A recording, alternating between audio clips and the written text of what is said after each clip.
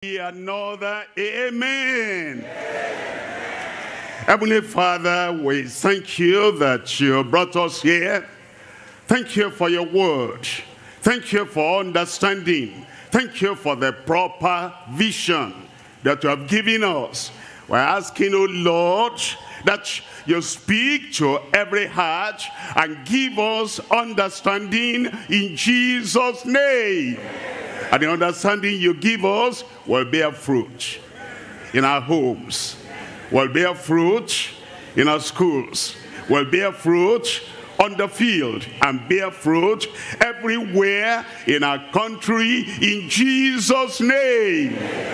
Thank you Lord because we know you have answered. In Jesus name we pray. A good good amen before you sit down.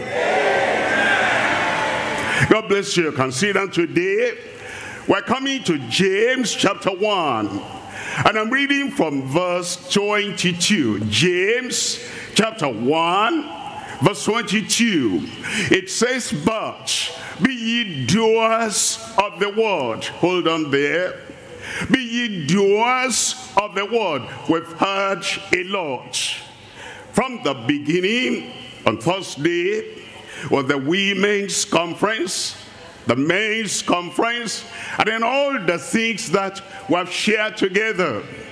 Our speakers who gave seminars, who gave goodwill messages, and all the people that have spoken. They have given us a word. The word.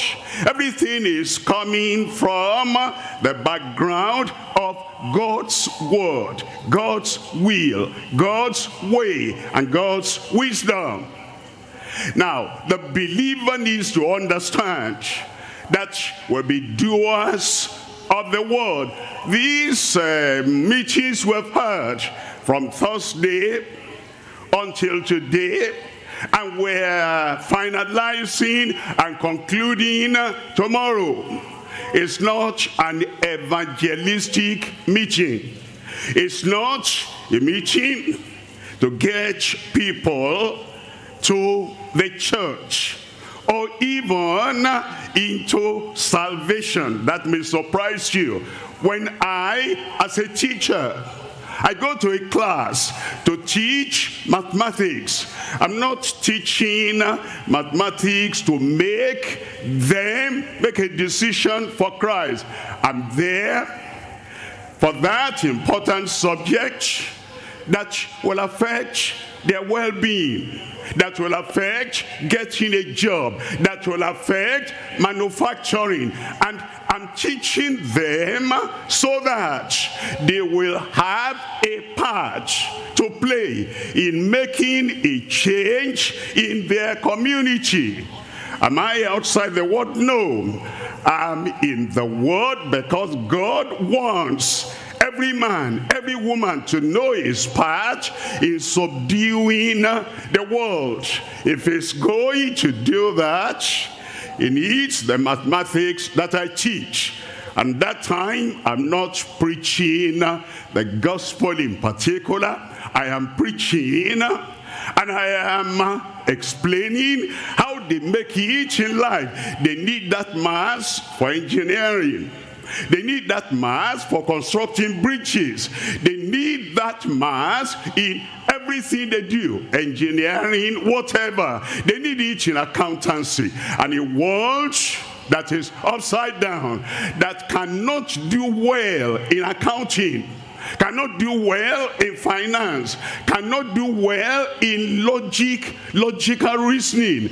That world will collapse and there will be no way to preach the gospel. When a teacher who teaches English is teaching English so that we'll be able to communicate. It's not there preaching the gospel. So this week, as we have been here, we didn't come to influence people to this religion or that religion. We wanted to make people a better mother, a better father, a better husband, a better wife, a better professional person, a, be a better administrator, a better governor, a better person in office, in governance. And uh, so you need to understand that the way we have approached everything we did from Thursday to Friday, to Saturday, Sunday, and also as we're looking at this today, this one is not like evangelistic preaching. Going into all the world and preach the gospel to every creature. Yes, we do. But Peter, what to do that? He was a fisherman. And we need fishermen in the nation. And if Peter was a fisherman who had not known the techniques and the principles and the practical things to do to really fish. And when you do the fishing, how do you sort out the good ones and the bad ones? If Peter did not know that, how do you get the ones that are good into a place? How do you put them in the fridge? How do you preserve them so that they will still be edible when the people come to buy?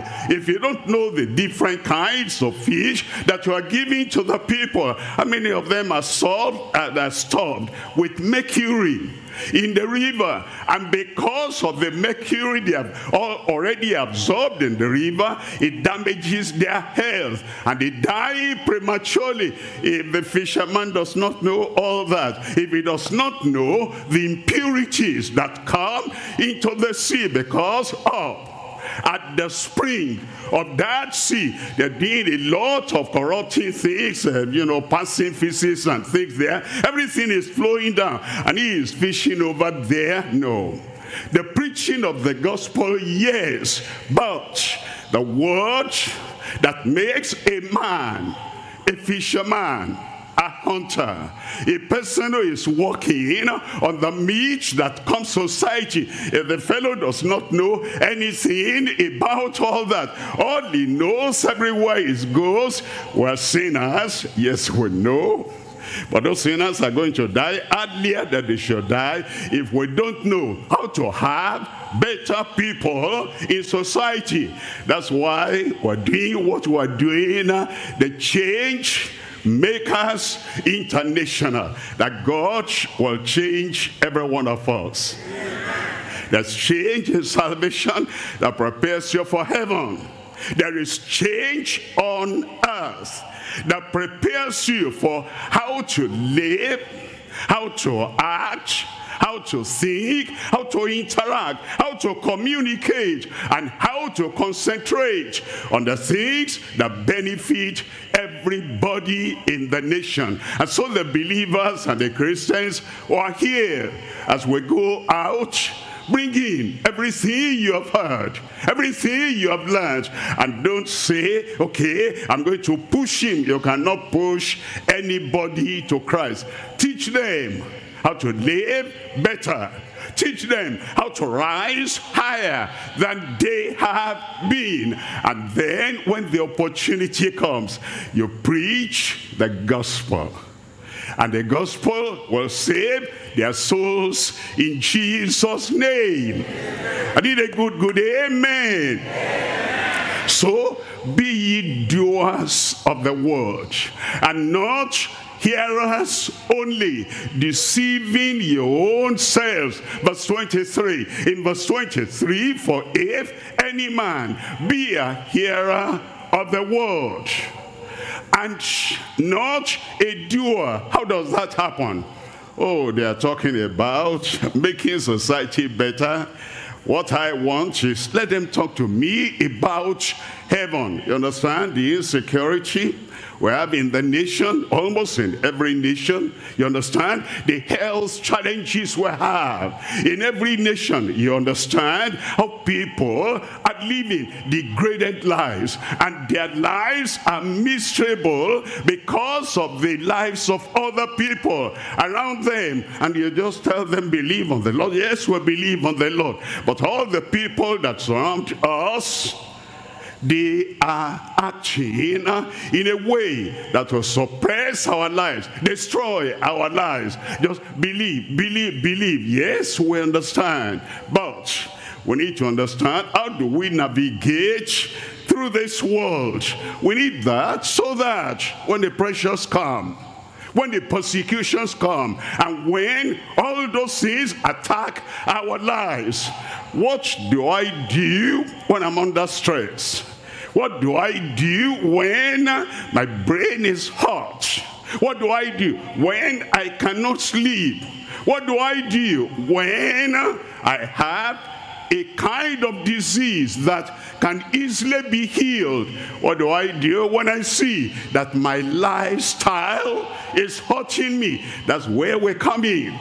And we say, you know, in Change Makers International, this is how you adapt this, adapt that. That's not preaching the gospel, but that is an important part of our life so that we will know how to live and how to preserve our lives. So I appeal to all the Christians, all the believers who are here, and everyone who has heard of this program, Change Makers International. It's not about religion. It's not about the Great Commission as such, but it's preparatory to the Great Commission. I need to tell you that the educational system, universities were brought about by Christians because that is the practical thing we ought to do. Hospitals came up as a result of Christian impact in our world. That's not directly preaching the gospel. Repent, believe, and be saved. But you see what the hospitals have done and all the gadgets we have all the new civilization we have look at all these lights all these lights the inventor originator Thomas Edison. It wasn't, you know, repent, repent, repent, repent will not bring the bulbs, will not bring the electric light. And so understand, you have a part to play in the world in which you live so that you will live a life that will benefit your neighbors all around here. You'll be a benefit. I said you'll be a benefit so that your life making you a better family man, a better family woman, you'll be able to influence in the right direction, in the positive direction, how we ought to live.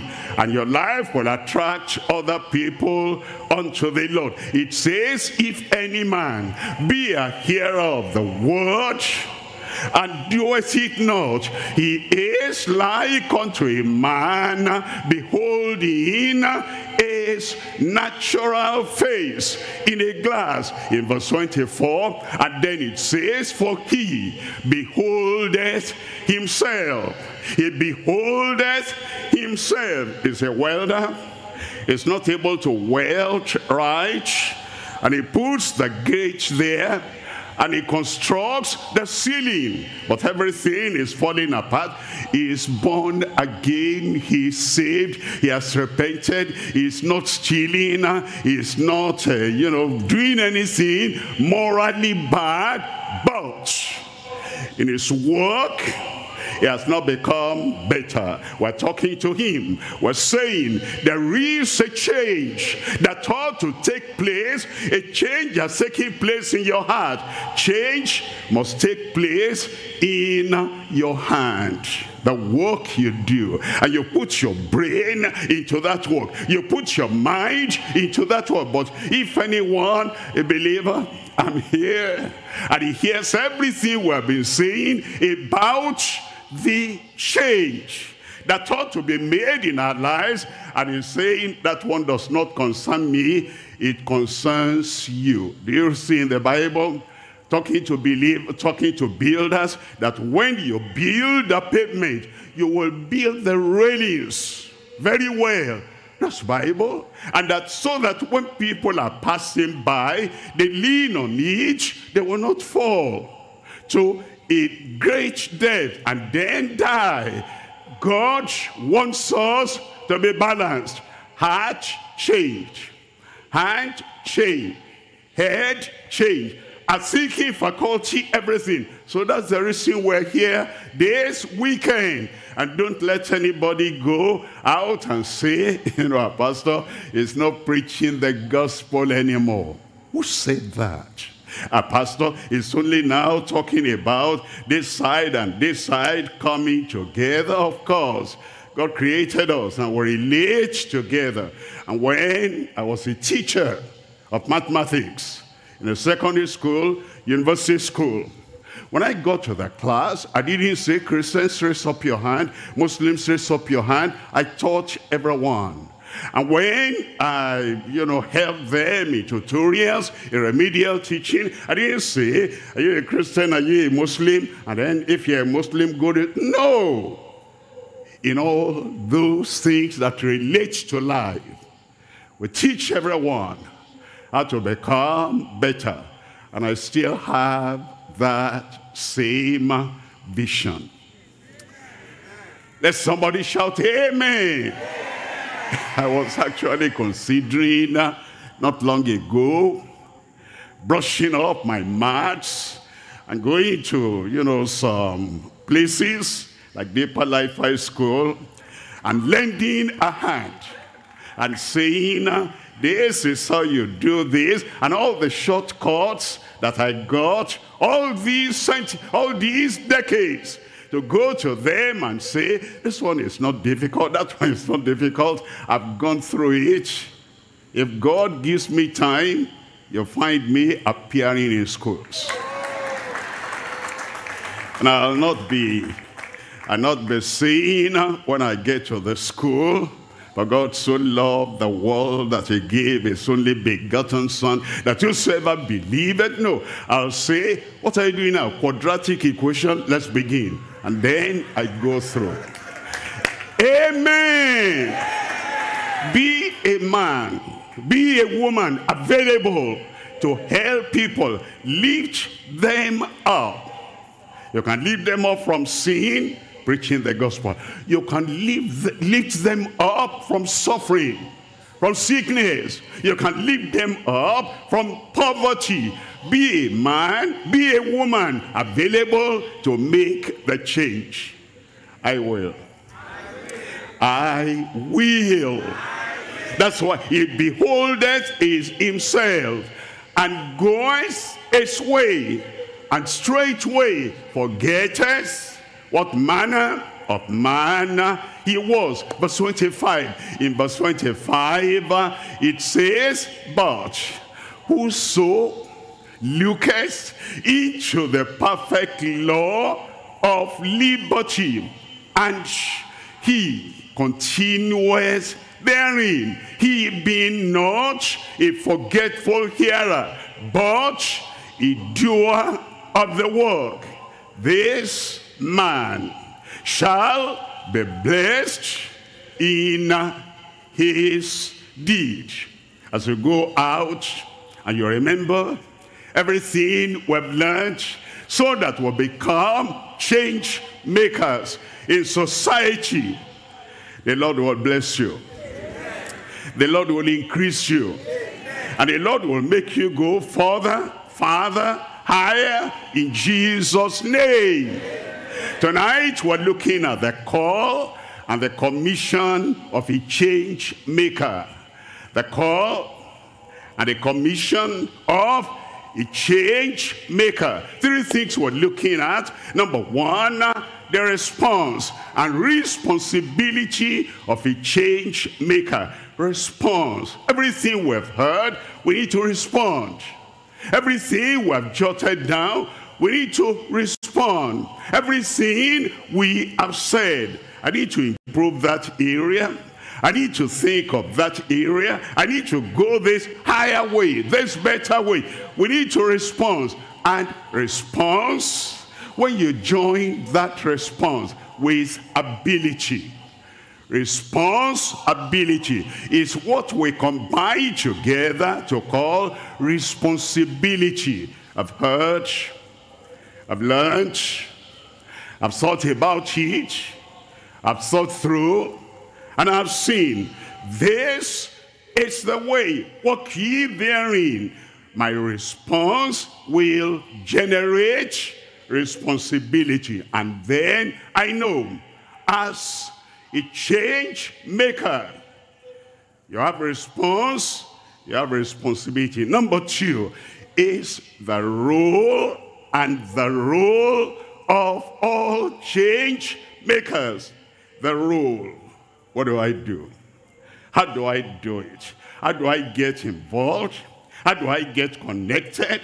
How do I make the lives of people around me better? The role, R-O-L-E. Now the role, when the role is called up yonder, when they call the role, the role of those who have improved their world, the role, calling the role of the people who changed slaves to masters. The role, the role of the people when the roll is called up yonder and your name enters into the book of people that did something, something important, something essential, something significant, that you move from success and now you are moving to significance and your name is there. You are happy that you didn't come to this world and just pass through without making a mark. The role, responsibility and role, and then the role, the register of, of all change makers.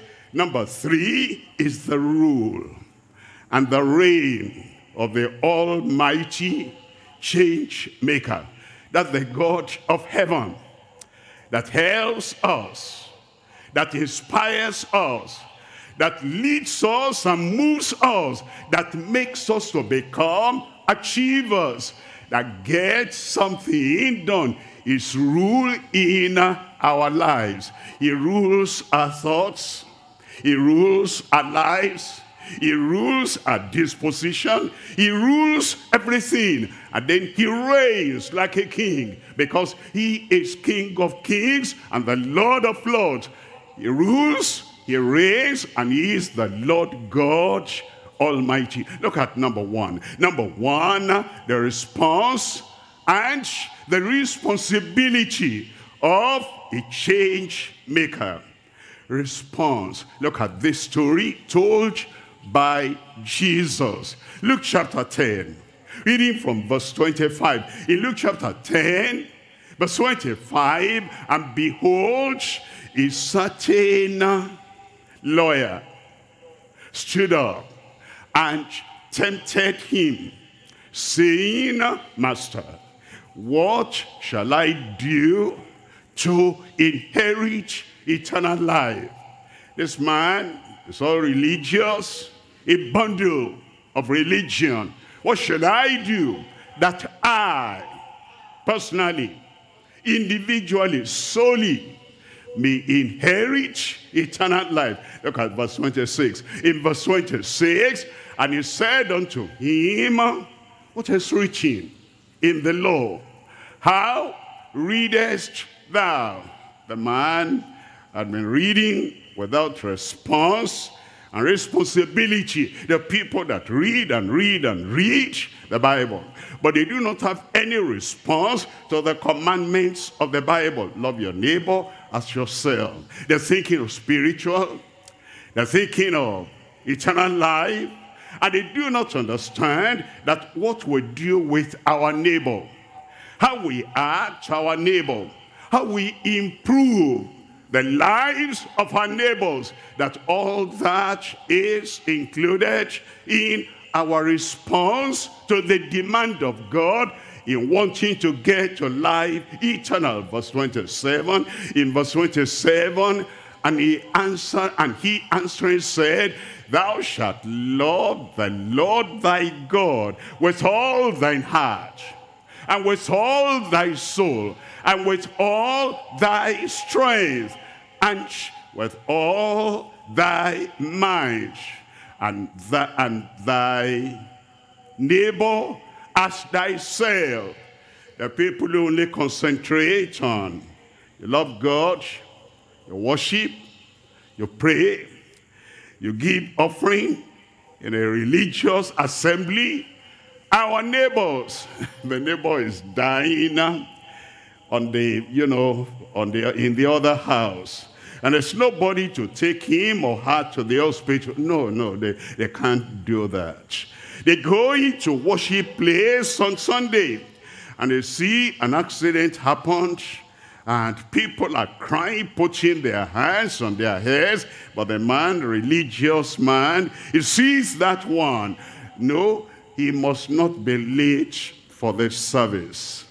And he's going there to sing the songs he had sung a hundred times over and over. But this one dying by the roadside, his neighbor, he doesn't think anything about that. All he thinks about is saved, sanctified, glorified, filled with the Holy Ghost, full stop. What do we do to this man? He may not be born again. He may not be ready for heaven. He is dying. But, you know, church people, religious people, they go their way. And that man dies without a hope of heaven.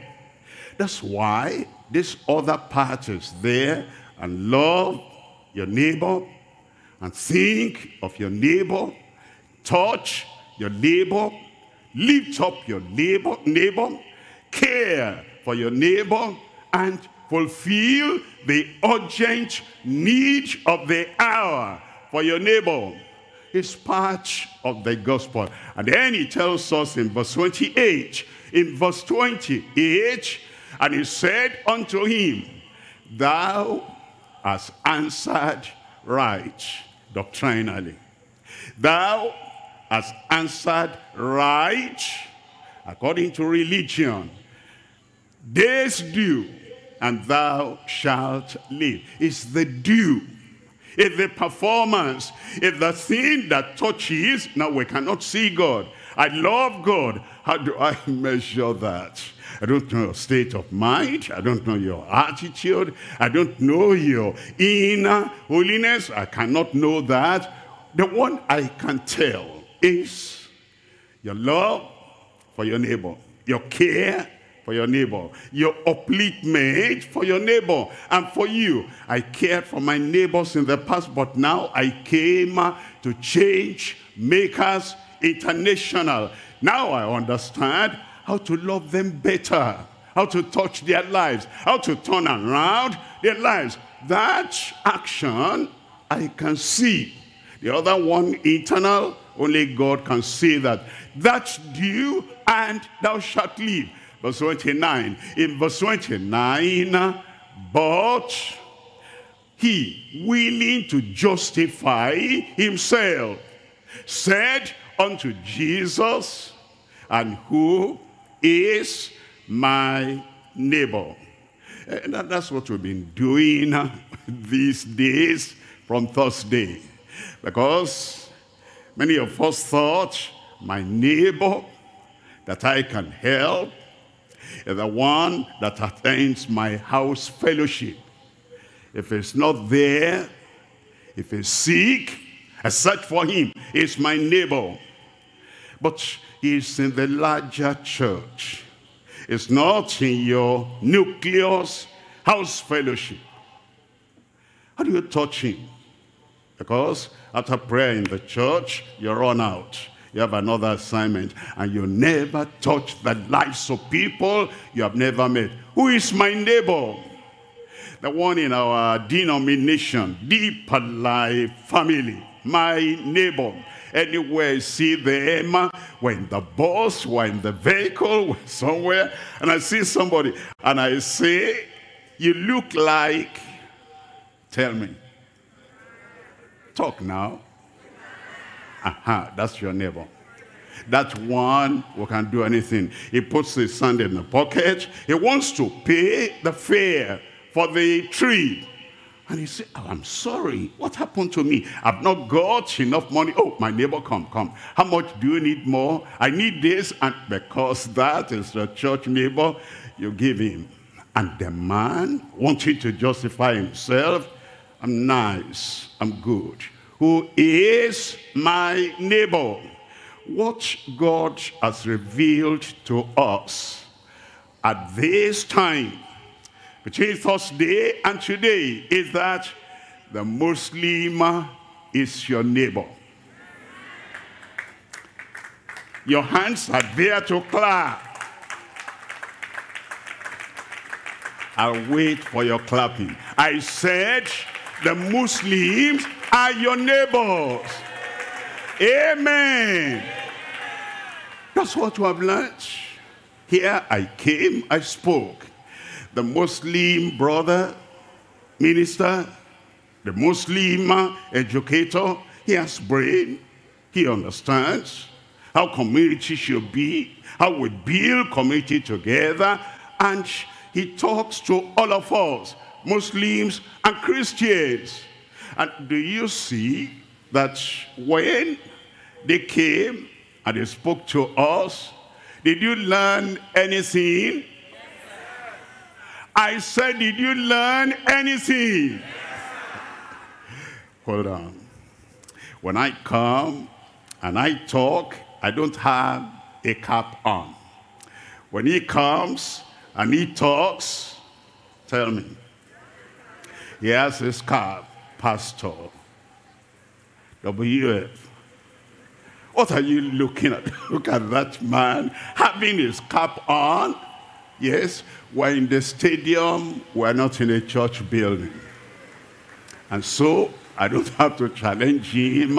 He has his cap on. In fact, if he tested me and said, if we're really one, look at my cap, and he gives me one, I will wait. Now, we're talking about understanding who our neighbors are. And the need of our neighbor is that that we fulfill. It's what we look into and we say, this is my neighbor. I want to give him a sense of belonging. That's a neighbor. I want to give him satisfaction that he is by my side and by his side and we are thinking in the same way. We have a load to carry, and both of us are carrying that load together. Look at verse 30. In verse 30, and Jesus answering said, a certain man went down from Jerusalem. And it says he was going to Jericho and he fell among thieves which stripped him of his garment and wounded him and departed, leaving him half dead. What a story. And what things we see around us. The people that have been, you know, taken away from their families, and their families are asking, how can we get ransom? to bail out our son, our daughter. You hear about it, but since you don't think it's your neighbor, you don't do anything. A child is dropping out of school, a good brain, dropping out and you hear about it, they are not saying, give us money that we can send him to America, to, you know, to Europe. They're saying, even at local school here, this child cannot make it because there's no money. That's when your neighborly attitude, understanding comes in. It's not about, okay, repent. Yes, they'll repent later. When you give them what is bringing sorrow in their heart and, you know, their lives are turned around for the better, they will listen to you more. And so, he said, they left him half dead and departed. Verse 31. In verse 31, and by chance there came down a certain priest, uh -huh, religious man, that, that way. And when he saw him, he passed by on the other side. Those are people, they hold on to doctrine, and even if the people around them are dying, doctrine, doctrine, doctrine, they are of no use on earth to the people who are suffering. Look at verse 32. In verse 32, and likewise, a Levite, when he was at the place, he came and looked on him. He didn't see the urgency of the situation. This man could die, blood coming out, because they left him up dead. And blood is the life of the body. And we need to take him up. No, it's not my neighbor. Doesn't look like from my tribe. Doesn't look like my like in my religion. No. This is non-political. This is non-religious. This is not non-tribal. This is life. And yet, he passed on the other side. Verse 32. In verse 32, but a certain Samaritan, as he journeyed, came where he was. And when he saw him, he had compassion. He had compassion.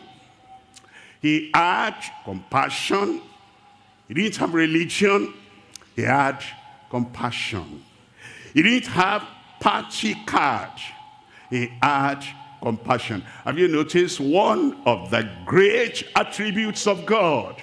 Old Testament, he had compassion on us. New Testament, and when Jesus saw them, he had compassion on them. This man, not religion, not party, not tradition, compassion. Eh, that's what the Lord is telling us. If you're saved, have compassion. You're sanctified, have compassion. And you, you have attained a high level in religion. Have compassion. That is what makes the turning point in change makers. Look at verse 34. In verse 34, and he went to him and he bound him, first aid, bound up his wounds, and pouring in oil and wine. Pouring in oil and wine. You understand? Now, there are people that have salvation, forgiveness of sin, morally, they're good. But they do not understand the natural remedies we can apply. They do not understand the place of the oil. You know, if you have a wound and you put Vaseline there to stop the blood coming out and to stop a scar coming up, you know, that's all that. We don't get that from born again, born again, born again. Is the lesson of life. And what we've come to do here this weekend is to give us lessons of life that will make us change agents around us. That is, that is happening to so and so. I know what to say. I know what to do. I know how to turn things around so that the wounds in his life and the wounds in his, uh, in his heart will not destroy him. He poured in oil and wine. And then he set him on his beast. Remember, they had never met. That's the neighbor. And that's what the Lord is telling us, that we stop, we stop looking at the tribe, at the culture, at the color of the skin, at the marks on his face that shows is coming from here, is coming from there. The man did not look at any of those parameters. All he did is that this is a man like me. I could have been in that situation. And he put him on his beast and brought him to an inn, a local clinic, hospital. And he took care of him. Verse 35. In verse 35, and on the morrow, he actually stopped his journey. Where he should have gone, I have appointment, I have appointment. He said, this life of the neighbor is more important. No, that's what we are saying. Uh, that you have the nature of God now. You have the compassion. And you understand the need of your neighbor is greater than the place you are running to urgently. Let the word of Christ so teach us that my neighbor is important. Uh, uh, you are hearing crying in the next house and you're in your house if you're reading newspapers, you keep on reading newspapers, you didn't even think they're crying there. We've been, you know, we've been living here for a long time, and they're living there for a long time. I never heard cry like that. Why don't you drop the newspaper you're reading, get up, and go to the next house. Um, I'm hearing there is, you know, some event happening here. Can I be of help? Is this person just had heart arrest, cardiac arrest. And now we need to take him to the hospital. And there is there's no vehicle. That's what you are saying. That you say, okay, you dress up, you forget your program for the day. Must do for the day. And you carry him uh, and you get to the hospital and thank God, thank God, a life has been saved. You'll be rewarded in heaven. And so it says, as he was going, he said unto him, take care of him, and whatsoever thou spendest more, when I come again, I will repay thee. That's neighborliness. And then in verse 36, in verse 36, which now of these three thinkest thou was neighbor unto him. Thinkest thou. Put on your thinking card. Think through life. As you see situations in life, think if I were in that situation, what would I want somebody to do? If I was in this predicament, what would I want somebody to do? Even if he does not agree with my doctrine, with my church, with my religion. What will I want somebody to do? Think. And then whatsoever you expect others will do to you, do to them likewise. Now think, who do you think is a neighbor to him that fell among the thieves? Look at verse 37. And he said, he that showed mercy on him. Now, he had compassion and the man, as he answered, he said, he that showed mercy. Mercy and compassion, they're together. Somebody is hungry. And because he's hungry, he even wants to go out to go and protest. But I know this man, if the police come to control the protest, he doesn't have the stamina to even run, to escape. And I say, come before you go out. I don't want you to go out, but I'm not preaching now. Take some food. Have strength, inner strength. And, and you know people like that, they don't think of their health. When they're rushing out like that, they want to address this issue. Change this one, change that one. Call them, call them to reason. The other time when this routing took place, you remember how many people died? Yes, even my brother, he died. He was a first-class brain, but when he went out like that, he died. Call them to reason, sit down together. And while you are sitting down together, give them something to chop so that you can address the hunger locally there. You know, we need to take care of people around us so that They will think aright, act aright, and they will live right. And so Jesus said unto him, Go and do thou likewise. That's the command of Jesus. Preach the gospel. That's command. Go back home and tell what the Lord has done for you. That's another commandment. Love one another as I've loved you. That's another commandment. Here is another commandment from Christ. It didn't say only go and tell them repent. Yes, we'll tell them. He said that too. But he also said, go and do thou likewise. My fellow brother, my sister, my daughter, my son, I understand where we're coming from. I taught you for your own sake, for your own life, for your own soul. Repent, except a man be born again. He cannot see the kingdom of God. Yes, I taught you that.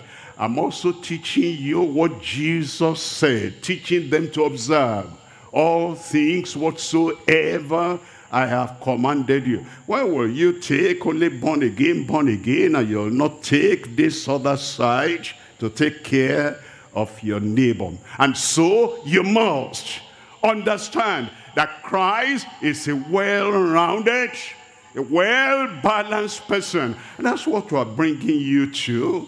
For you not then to, you know, lean back and say, no, this one we're hearing this a week and all that. Did it even talk born again, born again, born again? Look at Jesus here. He didn't introduce born again here.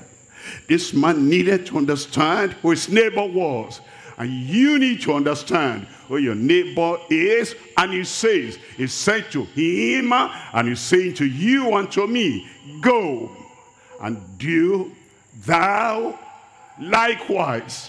And if you resist that, uh, when you, you know, throw a commandment away as if you are not responsible, that's disobedience, that's sin. And so, all we have heard this weekend Go and do that likewise. I will. Somebody there, I will. Look at Job chapter 29. In Job chapter 29, I'm reading from verse 11. It says, when the ear heard me, then it blessed me it blessed me. Their ears hearing me, oh, this is what I ought to do. This is demanded. This is reasonable. They blessed him. And then he said, and when the eye saw me, it gave witness unto me. Look at verse 12. In verse 12, because I delivered the poor that cried. That's what the Lord is saying. That, that's part of the Bible. Don't say, okay, Job did that. It's written by inspiration. And it is good for doctrine, for instruction. Right? That the man may be perfect, matured, well made. And then he says, and the fatherless and him that had, that had none to hell. You know, Job was available. That's what it's called. His integrity, his righteousness. And the life we live will touch the fatherless, will touch the widow. Look at verse 13. In verse 13, the blessing of him that was ready to perish, ready to die, came upon me. And I caused the widow's heart to sing for joy. That is righteousness. I caused the widow's heart to rejoice. And if you are hearer of the word, but you are not a doer, then you don't have the blessing of the righteous. Then it goes to the next verse in verse 14. It said, I put on righteousness. It's like a doctor treating a patient and putting on the white clothes they normally put on. And Job said, I go through life, I put on righteousness, and it clothes me. My justice, judgment, was as a robe, and a diadem. Look at verse 15. In verse 15, I was eyes to the blind. Eyes to the blind. Eyes to the blind. Think about that. Job, how are you eyes to the blind? The blind man wants to go here. He doesn't know where to go. And I said, I'm here. I can see. And so I will be eyes for you. Where are you going? And then he holds his hand. He forgets his own business. He forgot where he was going. He became eyes to the blind. But Job was not a physician. If Job were a physician, he'll say, I'm eyes to the blind. You don't have the money to treat your eye disease, but I'll pay for the treatment. Eyes for the blind. If uh, Job uh, was, um, you know, somebody that knows how to look at the refraction and everything and recommend glasses, he will recommend the glasses and buy the glasses. That's what the Lord is calling us to. Eyes to the blind and feet was I unto the lame. Feet was I unto the lame. This other fellow, he has eyes, but he doesn't have good, strong feet to carry him. And Job bends down and say, climb on my shoulders. And he climbed on his shoulders, but he could not see. But Job could see eyes to the blind and feet to the lame. And that's what the Lord is telling us to do. He says, go through life and look at the needs around you. And those needs around you with the strong feet you have, with the good eyes you have, with the good ears you have, with the good financial support you have, help the people that are less privileged than you are. And it tells us in verse 16, in verse 16, I will say, Father to the poor, and the cause which I knew not, I searched out. Verse 17. In verse 17, and I break the jaws of the wicked, and I plucked out the spoil out of his teeth. And the Lord is saying, don't just be a hearer of the word. Be a doer of the word. The response and the responsibility of a change maker well, will do it. Somebody there, I will do it. Number two now, in the role and the role of change makers. In Matthew chapter 25, verse 31, when the Son of Man shall come in his glory, and all the holy angels with him, then shall he sit upon the throne of his glory. What will he do? Verse 32. In verse 32, and before him shall be gathered all nations and all people in the nation that say we follow God, we believe in God, we believe in Christ, all nations. And then it says, and he shall separate them one from the other as a shepherd divides the sheep from the goats. I pray you'll not be a goat. Look at verse 33. In verse 33, and he shall set the sheep on the right hand, but the goats on the left. Verse 34. In verse 34, then shall the king say unto them on his right hand, Come, ye blessed of my father, and then it says, inherit the kingdom prepared for you from the foundation of the world. Verse 35. Why? What qualifies them? And born again? Yes. Tell me something practical. The fruit of being born again. The result of being born again. He said, for I was an hungered, I was hungry, and ye gave me meat. I was thirsty, and ye gave me drink. I was a stranger, and ye took me in. Verse 36, naked, and ye clothed me. I was sick, and ye visited me. I was in prison, and ye came unto me. Verse 37, then shall the righteous answer him, saying, Lord, when saw we thee and hungered, and fed thee, or thirsty, and gave thee drink? Verse 38, when saw we thee a stranger, and took thee in, or naked, and clothed thee. Verse 39. Or when saw we thee sick, or in prison, and came unto thee.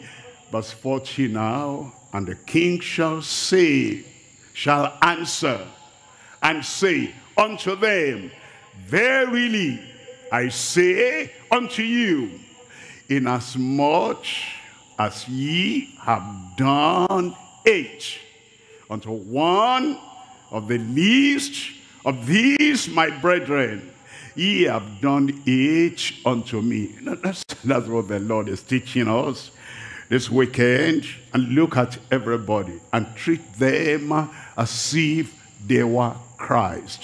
Don't look at religion. Don't look at tribal marks.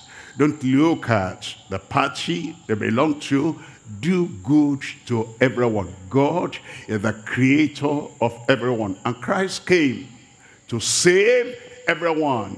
And this one, although he has not repented, although he is not claiming to be born again, although he does not even know the, uh, the, the beginning alphabet of the Christian faith, as soon as long as you have done it unto this the least of my brethren. He is not a pastor it's not a bishop it's not a reverend it's not a, you know um, kind of card holder as a prominent politician. That leaves unknown people help them. Visit them.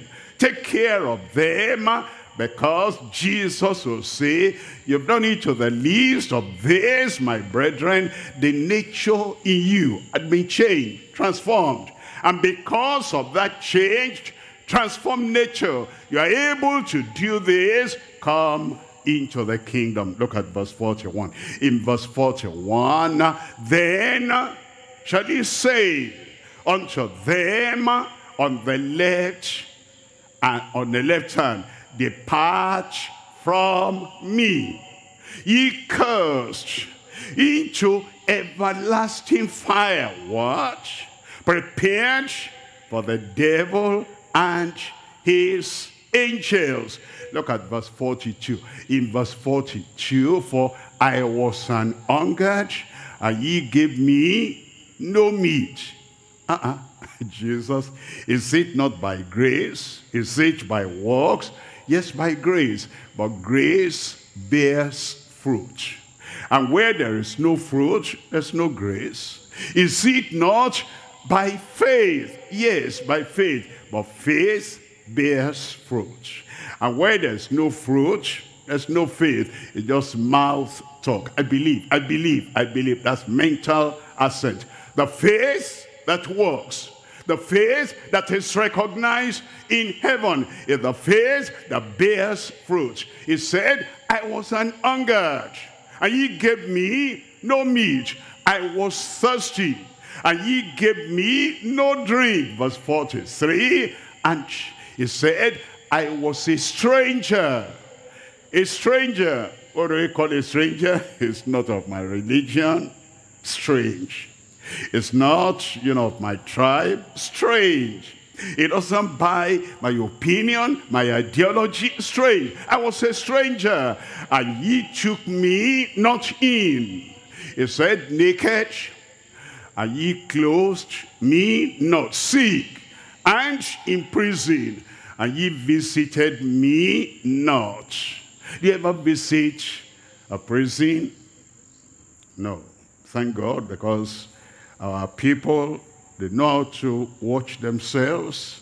They never do anything that gets them to the prison. Good for you. But how about the people who are there? well, what did they do? They're not of our kind. If they were of our kind, they'll not be there. If that's the way you reason, you'll be surprised on the final day. He said, I was a stranger, and ye took me not in naked, and ye clothed me not, sick and in prison, and ye visited me not. Look at verse 44. In verse 44, it tells us, Then shall they also answer him, saying, Lord, we saw with thee, and hungered, or thirst, or thirst, or a stranger, or naked, or sick, or in prison, and did not minister unto thee. Look at verse 45. Remember, these are the words of Jesus. Remember, this is not the word of, you know, somebody or identified in the Old Testament. This is New Testament coming from Christ. And you know, he spoke the truth, always spoke the truth. And he said, this is the rule and the standard by which we're going to be judged. Then shall ye answer? Shall ye answer them, saying, Verily, I say unto you, inasmuch as he did it not to the least of these my brethren, ye did, did not unto me. Verse 46, yes, Christ. That's not my conclusion. Here is his conclusion. Get involved help people, touch people's lives. You see hurt, heal.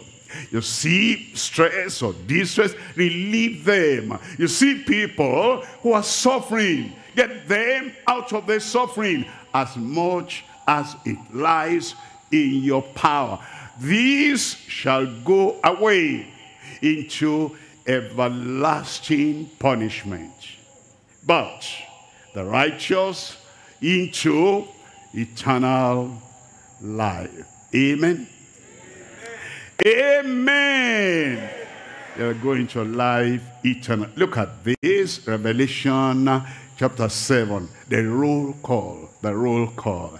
Now, we'll sing the roll, we'll see what we need to do, and we'll see the roll. It says, and after this I beheld, lo, a great multitude, which no man could number, of all nations and kindreds and people and languages stood before the throne and before the Lamb. It says they were clothed with white, white robes and palms in their hands. Look at the next verse there.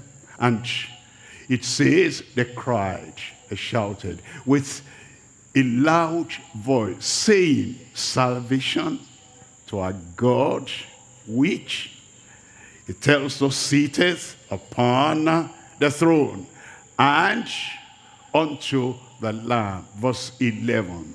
It says, and all the angels stood round about.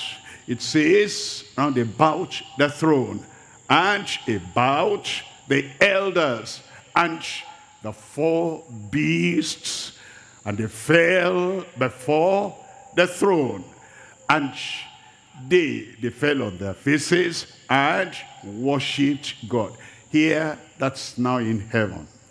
When the roll is called up yonder, I will be there.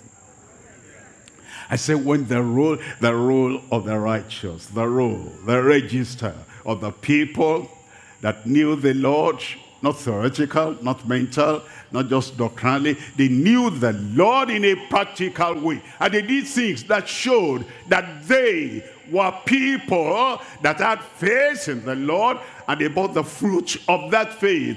Those are the people that will be there when the roll is called up yonder. You'll be there. You'll be there. Can I then tell you, be a doer of the word. A doer of the word. A doer of the word. The role, responsibility, the roll, the register. We're coming to number three now. Number three, the rule and the reign of the almighty change maker. Christ is our king. God is our king. And now want to see about a God who rules our heart. He rules our mind. He rules our disposition. He rules our way of thinking. He rules our action. If you're a person that, you know, just act and talk and behave and don't bring in God as the one that rules over you, then how do you belong to him? In Judges chapter 8, I'm reading from verse 4. Judges chapter 8, verse 4. And Gideon came to Jordan, and he passed over, he and the 300 men that were with him, faint and yet pursuing. Faint and yet pursuing. There are times the body is not stone, we get tired, but we have uh, something we're pursuing. There are times we faint. We're not stressed. And because we feel we're tired, we're almost getting near burnout. But there's a life to save. There's a life to rescue. There's a family to counsel.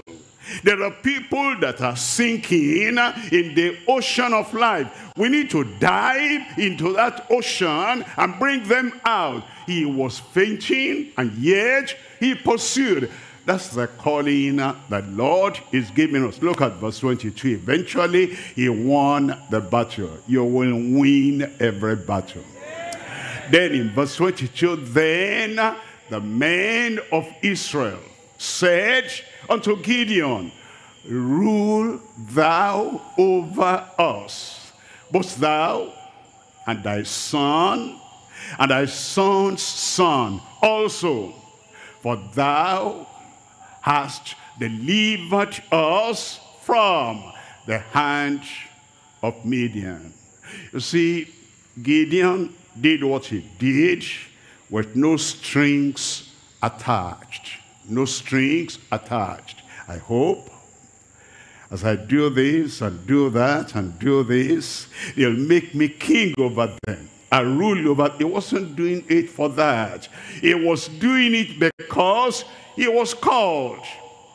He was commissioned.